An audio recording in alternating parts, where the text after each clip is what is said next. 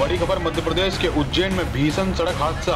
बच्चों से भरी स्कूल वैन को ट्रक ने मारी टक्कर। चार मासूम छात्रों की मौके पर मौत 11 घायल।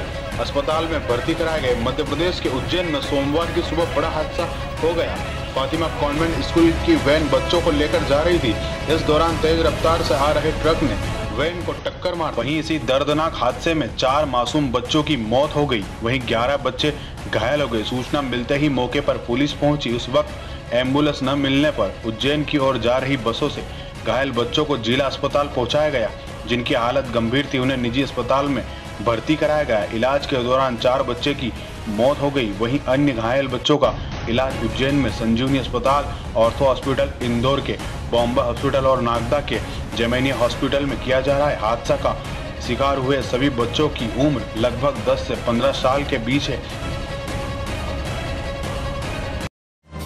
खबरों के लिए आप बने रहे हमारे साथ। हमारे चैनल को सब्सक्राइब करना ना भूले। साथ ही बेल आइकन भी दबाइए। आप हमें इंस्टाग्राम पर भी फॉलो कर सकते हैं। लिंक डिस्क्रिप्शन में है। वीडियो में बने रहने के लिए धन्यवाद।